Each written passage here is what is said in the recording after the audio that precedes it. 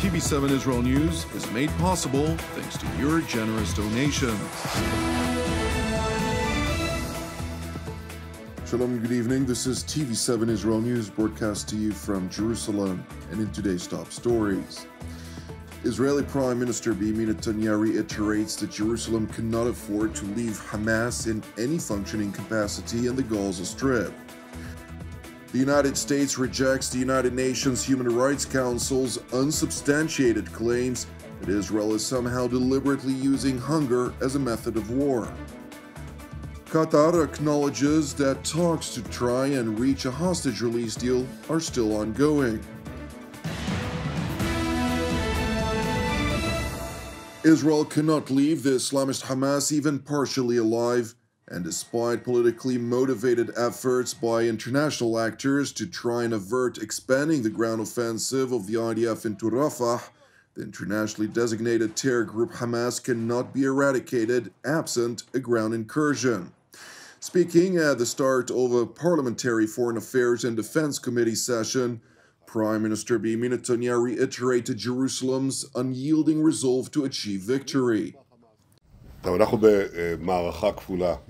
We are in a dual campaign, a military campaign and a diplomatic campaign. Of course, they are interconnected. The diplomatic fight gives us the time and the resources to reach the full results of the war. We have been fighting for over five months. This is a record in the history of Israel's wars, except for the War of Independence. We are, of course, under growing international pressure, which we are rejecting in order to achieve the goals of the war. The goals of the war are, to be succinct, the destruction or elimination of Hamas's military and governing capabilities, the release of all of our hostages, and ensuring that Gaza never again constitutes a threat to Israel. In order to do this, we need to complete the military elimination of Hamas. There is no alternative to this. We cannot go around it. Neither can we say, we will destroy 80% of Hamas and leave 20%, because from that 20%, they will reorganize and take over the strip again and, of course, constitute a new threat to Israel. And of course, this will be a victory for the greater axis that threatens us, the Iranian axis. Therefore, we are determined to complete the elimination of Hamas. This demands the elimination of the remaining battalions in Rafah and, of course, the 1.5 battalions in the central camps. We are determined to do this. The Israeli premier went on to stress that while an Israeli delegation will travel to Washington to debate with their American counterparts on the path forward, Jerusalem remains determined to eliminate the remaining Hamas battalions in the southern Gazan border town of Rafah. We have a debate that I will put on the table, and we all know it. U.S. National Security Advisor Jake Sullivan also said this yesterday. We have a debate with the Americans over the need to enter Rafah, not over the need to eliminate Hamas, but the need to enter Rafah. We see no way to eliminate Hamas militarily without destroying these remaining battalions. We are determined to do this. Out of respect for the president, we agreed on a way in which they can present us with their ideas, especially on the humanitarian side, of course. We fully share this desire to facilitate an orderly exit of the population and the providing of humanitarian aid to the civilian population. We have been doing this since the beginning of the war. However, I made it as clear as possible to the President that we are determined to complete the elimination of these battalions in Rafah, and there is no way to do this without a ground incursion. It is important to highlight that while the United States does not have an alternative plan to the military solution vis a vis the Islamist Hamas in the town of Rafah, U.S. Deputy State Department spokesman Vedant Patel illustrated the eagerness in which the Biden administration seeks to avoid an IDF ground offensive. It should come as no surprise that uh, when it comes to this, we are just um, squarely in uh, a different place and have a different viewpoint than our Israeli partners. You saw National Security Advisor Sullivan speak about this a little bit yesterday. Um, but I will also note that in this very same call, um, President Biden and Prime Minister Netanyahu agreed to have their teams meet uh, for them to meet soon um, here in Washington to exchange views and discuss alternative approaches um, that would target the key elements of Hamas, um, help secure the Egypt Gaza border, and uh, do so without a major ground operation in Rafah. We continue to feel quite strongly that uh, such an operation in Rafah, where there are more than a million people um, seeking refuge, a region that continues to be a key conduit for the entrance of humanitarian aid, that doing something like that without a credible and clear plan something that uh, without a plan that also doesn't address for the various humanitarian pieces um, would be a disaster. And we hope that uh, through this uh, mechanism, um, our, our officials will be able to discuss some of these issues in greater detail and uh, find a path forward.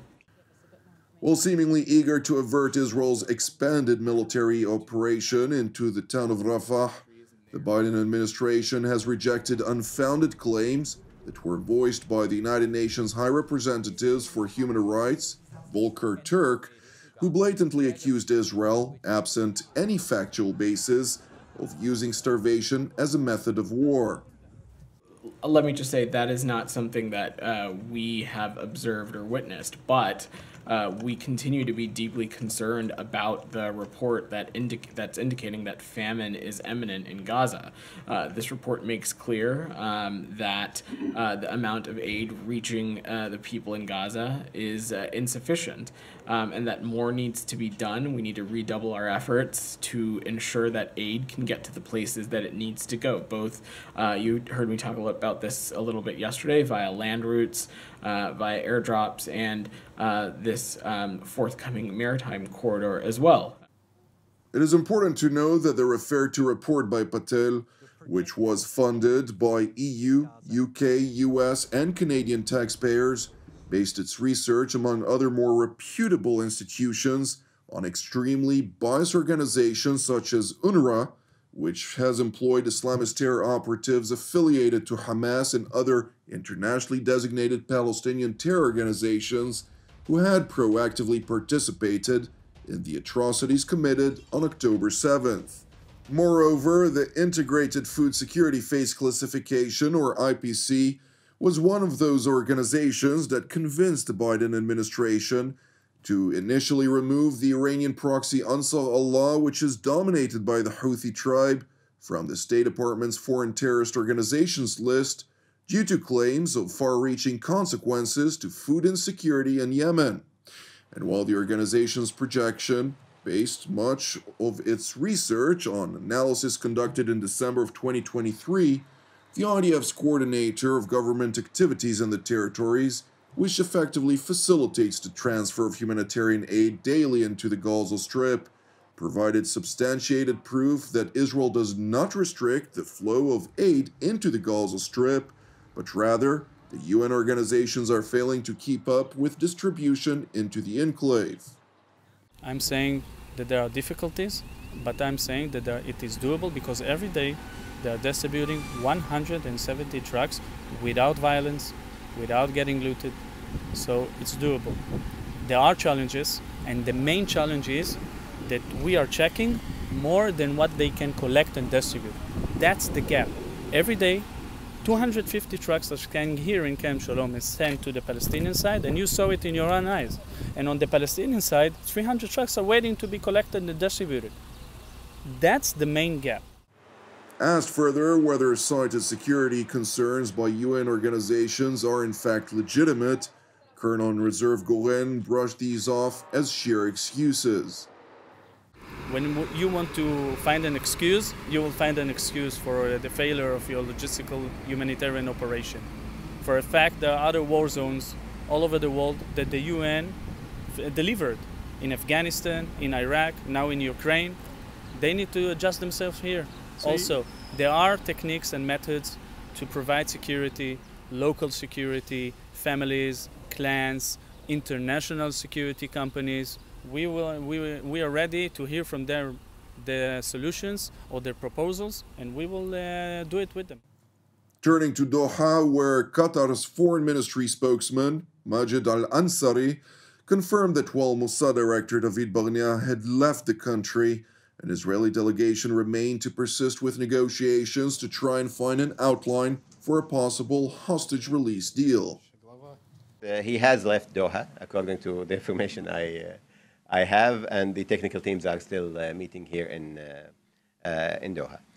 First of all, I don't think we are at a moment now where we can say that we are close to, uh, to a deal. We are, as I said, we are cautiously optimistic because the talks have resumed, and that is a good thing, and we hope that that continues, and we hope to build upon that in the coming days, but it's still too early to, to announce any, any successes. So we remain uh, as I said, we remain hopeful. So we are at a point now where we are expecting that a counter proposal would be uh, presented to, uh, to Hamas. But this is not the final step in, uh, in the process, obviously. Until we reach a, place where both sides can agree on, uh, on language of, uh, of an agreement, these you know, steps back and forth will, will continue.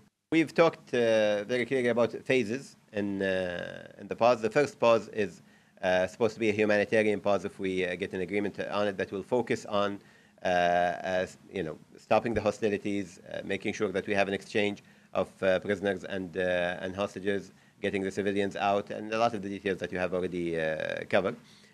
we are hoping that that would build momentum towards a second phase where you will have uh, probably some sorts of, uh, of, ceasefire. But right now, the focus is on a humanitarian pause to take place in the first place. It is important to stress that while Qatar brokers negotiations between Israel and the Islamist Hamas under the umbrella of the United States, Doha continues to host the leadership of the Palestinian terrorist organization Hamas in its capital. In tandem, the Qataris are working tirelessly on a number of fronts to spout disinformation by blatantly demonizing Israel's military campaign in the Gaza Strip on the one hand, and on the other, the United States for supporting Israel with the apparent intention of influencing U.S. public opinion via its outlet Al Jazeera to try and pressure the Biden administration to prevent Jerusalem from achieving its war objectives. Among others, Doha is trying to convince the West that a ground offensive into Rafah, which is necessary to deal Hamas a decisive blow, would entail inevitable atrocities we uh, have cautioned and we will still caution that any attack on, uh, on Rafah will make the humanitarian situation considerably uh, worse and will result in atrocities that have not been seen before in this terrible crisis with the number of unbelievable atrocities that have taken place. Thank you for watching TV7 Israel News. It is important to highlight that TV7 Israel is a donation based non-profit ministry with all of our productions available free of charge. Therefore, we would appreciate it if you'd consider making a donation. You can do so by visiting our website at www.tv7israelnews.com. Separately, I'd like to encourage you pray for the peace of Jerusalem and salvation of Israel. I'm Jonathan Hessen wishing you an Erev Mevorach.